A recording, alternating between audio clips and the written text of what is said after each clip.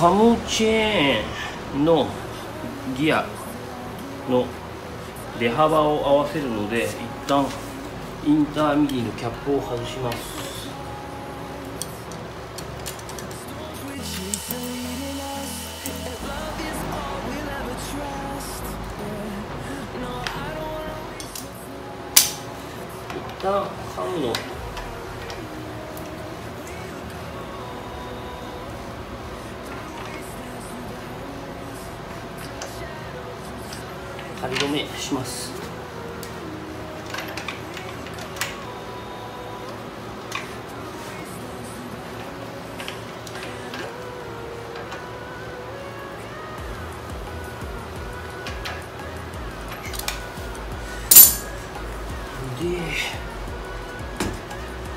長さはこのちょっと見えないかもしれないですけどインターミディエイトシャフトの端からのスプロケットのギアの部分ここまでの差を見ます。この面から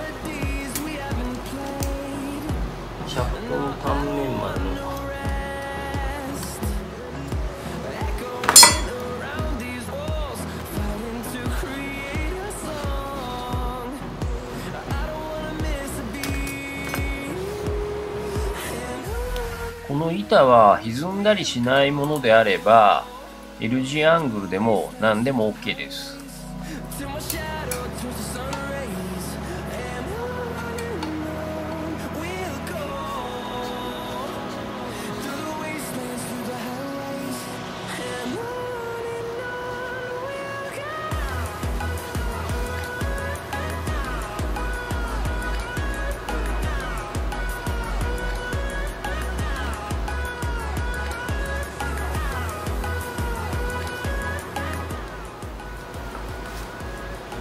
今ね、えー、測ってみて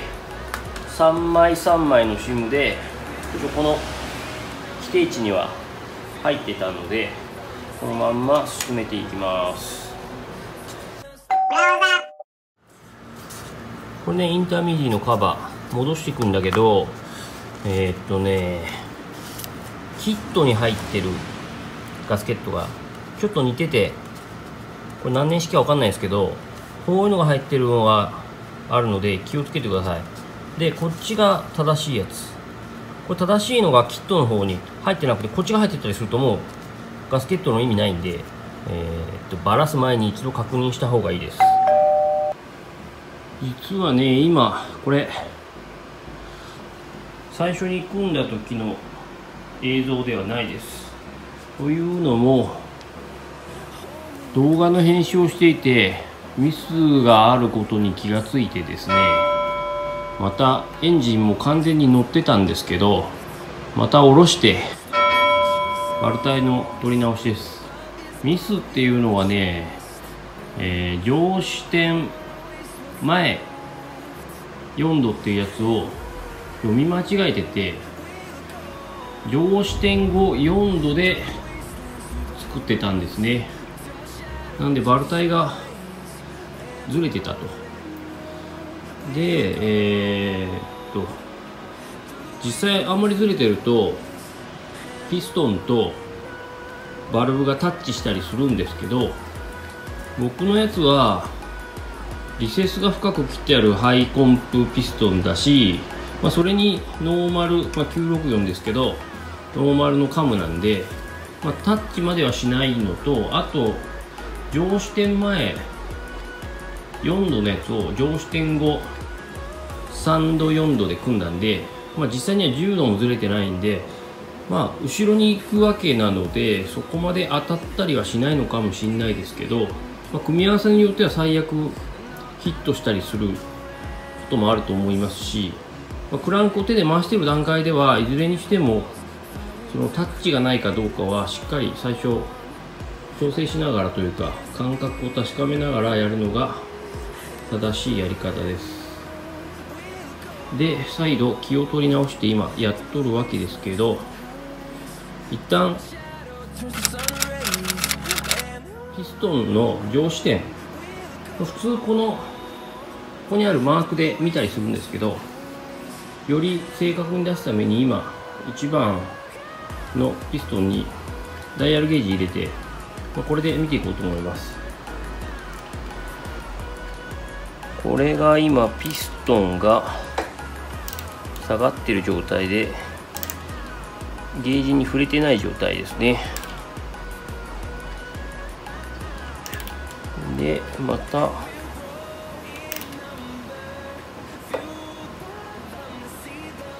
上がってくると今動き出しましたね。大切なのはここで、まあ、暫定的に0一周したところの0ここで今ストップしました。この時に分度器を見ます。この時の数値がまあおよそ25ですね。これをまずメモっときます。でこれピストンがさらに上がっててきて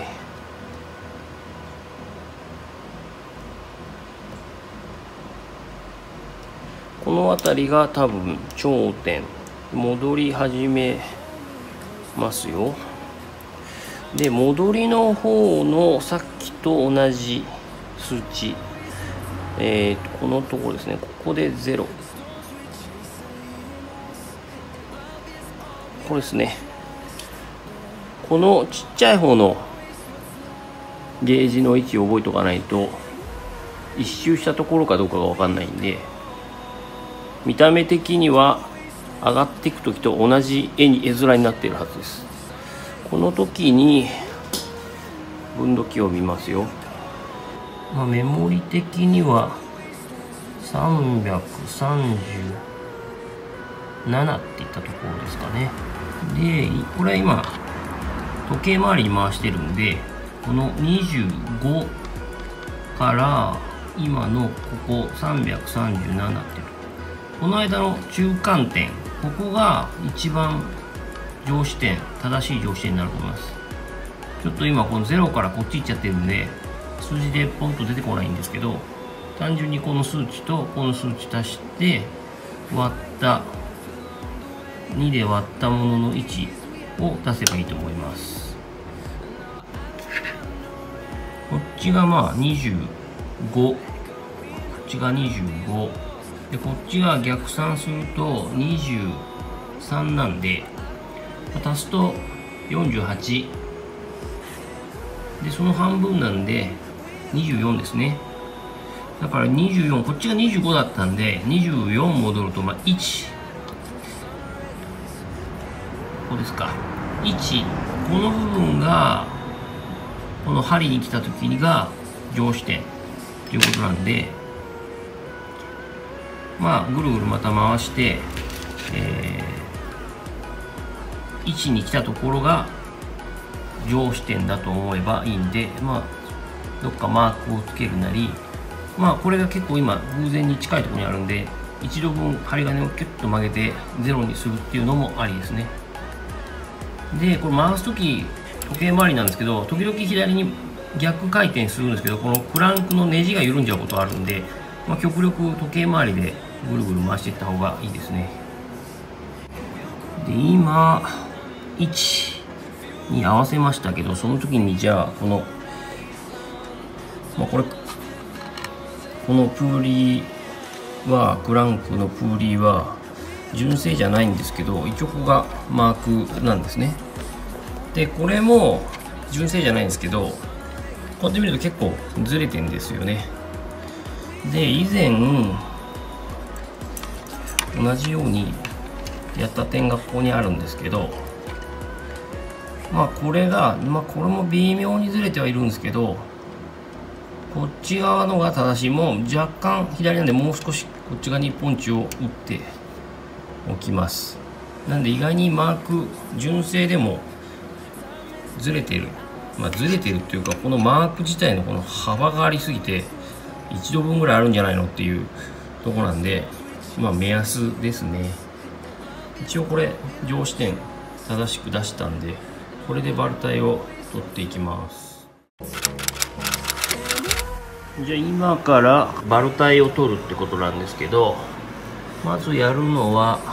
今これ上視点もさっき出したんでこれね今ゼロ。この針金が今ゼロのところにあります。あとカムをその時に今これ456の方なんですけど、えー、とカムの襟にポッチがポンチのマークがあると思うんでこれが上側に向いてるように一旦。こっち側もね今964の文字の上にこっちがあると思うんでこれもとりあえず上方向に暫定でセットします。でテンショナーとかをちょっと仮でつけていきますね。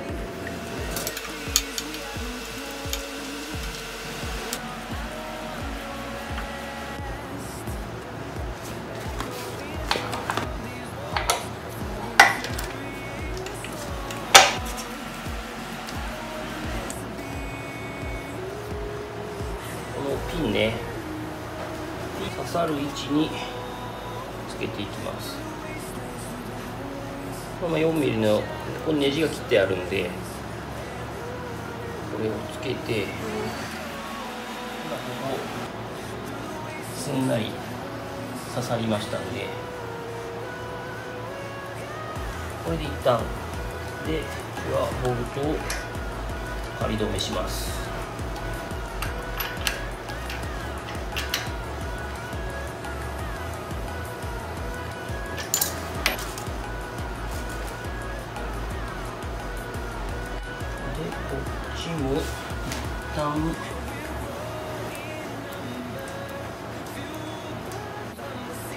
ここが今すんなり刺さったんで一旦これでこっちも仮止め。この状態で一旦あのベースはできたんでこれでロッカーアーム1番と4番組んで、えー、バルタイを取る準備をしていきます。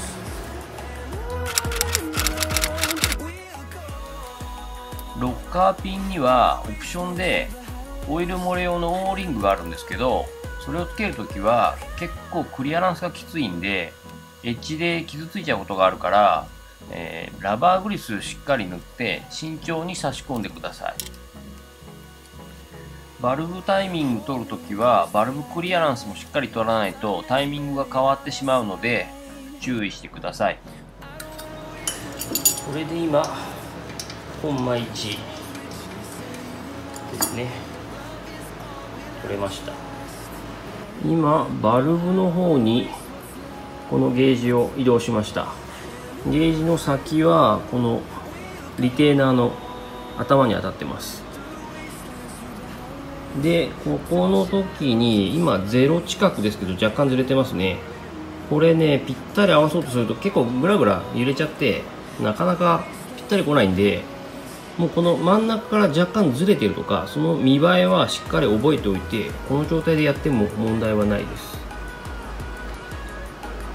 じゃあバルタイ取っていきますよ。えー、っと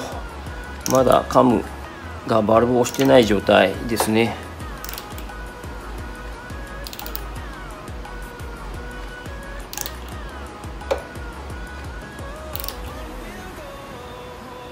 今押し始めました。1周で1ミリなんで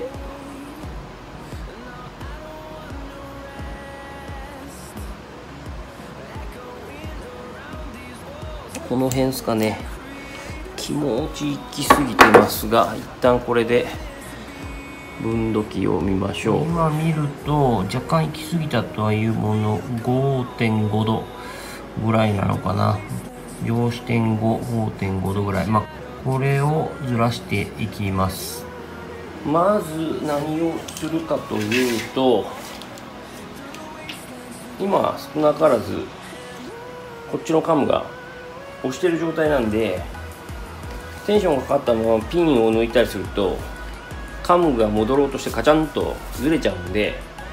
えー、まずテンションのなくなるとこまで適当に戻します。今ぐるぐる回ってるんでまだカム乗ってる状態。ここまで来るとテンションが抜けるんでもう今これが押されてない状態なんですけどこっちにも逆サイドにもカムのついてるんでこれ今、え、4番のインだけがバルブのクリアランス取ってあるんでこれに乗ってるとそいつのテンションでまたガタンってなっちゃうんで、まあ、これ回しててちょっと軽い両側のカム乗ってないなっていう位置この辺かなをちょっと探ってください。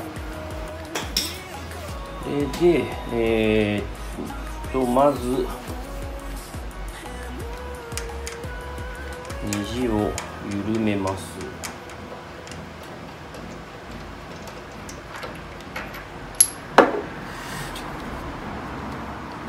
まあこれも外し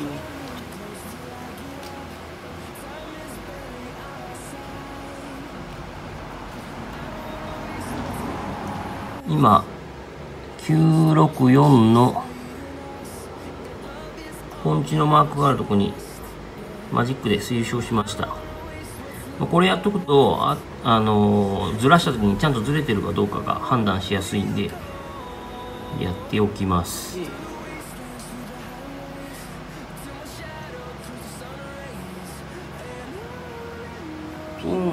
くわけですがテンションかかってると抜けない。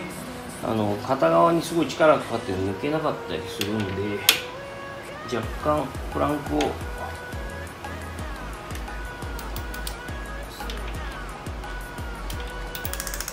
左右に回してあげるとすんなり抜けてきます。でその時に度数を見て今現状で言うと115今115なんでこれを、えー、5度と4度9度。9, 9度分戻します。で戻す時はでもこれをもう一度テンショナーをかけとかないとダメですね。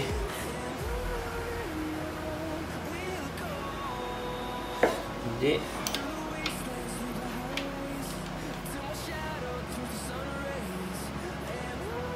戻していきますが今カムとスポロケットはずれているはず。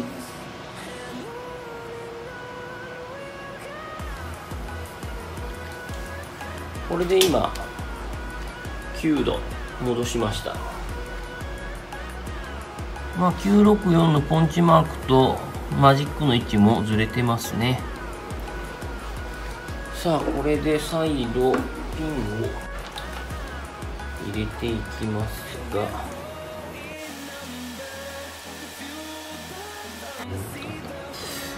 ここが今すんなり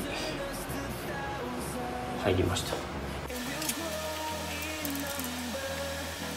あくまでも軽く。これでもう一度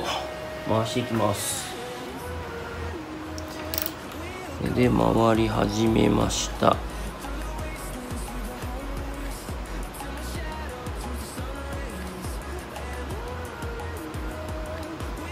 なもんかな。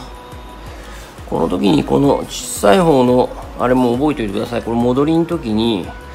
分からなくなっちゃうんで今の位置で言うと0のあたりですね。さあここで分度器を見てみましょう。まあ見ると3ぐらいですかね。一応4なんですが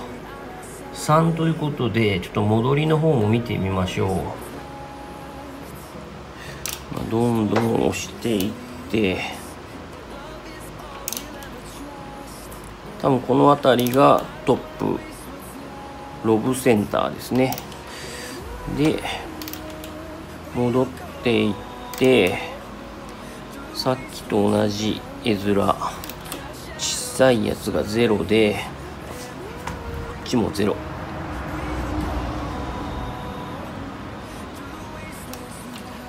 あと1周ですかね。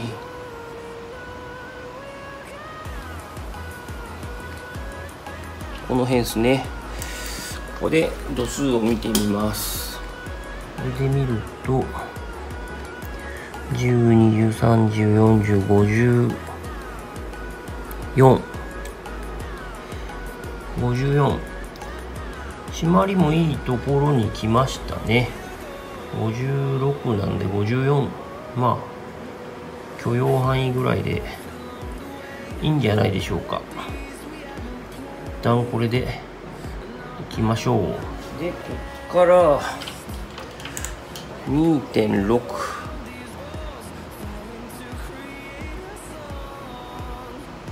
2.6この時に時はというと、まあ、ほぼ上視点ですね。456側ですね。今これ1ミリ。リフトですね。でその時の度数が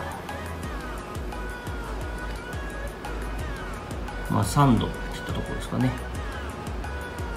でこっから、えー、1.26が出るかどうかをちょっと回しますよ。今1.26のところに来ました。この時に上視点にあればほぼ間違いなく上視点ですね。あとは締まりですね。が締まる前1ミリ。で度数はというと5の123452 52度。やっぱりこっちも56にはならないですね、まあ、52ということで、まあ、基本的にはえー、っと4ミリの方とまあ上視点1.26を基準にしてもこっちは無視していきます。まあ左右はほぼ同じなのでこれでバルタイの合わせは終了です。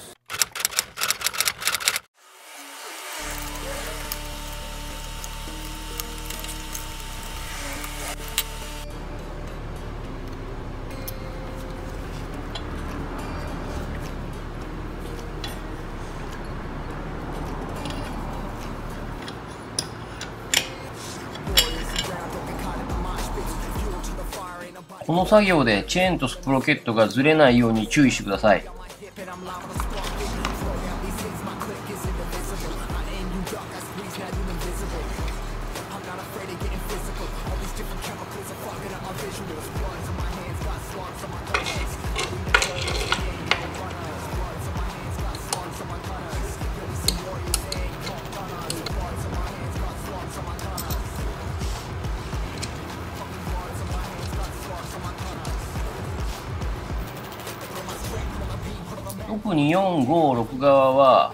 テンショナーのスプロケットが下に落ちちゃうんで手で押し上げながらやらないと最悪スプロケットとチェーンがずれてバルタイの取り直しになります。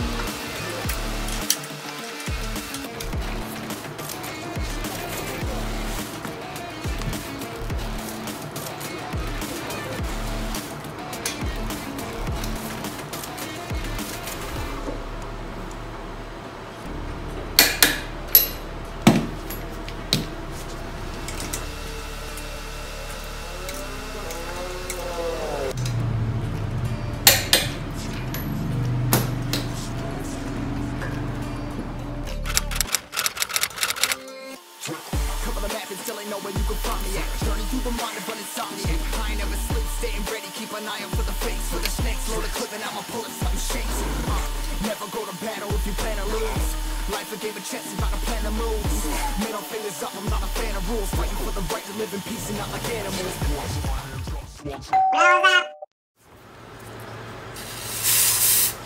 取り付けができたら、まあ、この外側ピンの入ってる外側は一旦きれいにしといた方がいいですこれきれいにしとくと次漏れてきた時にどこから漏れたかが分かりやすいんでここ非常に漏れやすい箇所なんで。でまあ最悪漏れたところは新しいオーリングを入れ替えるなり対策ができるんで綺麗にしておきましょう。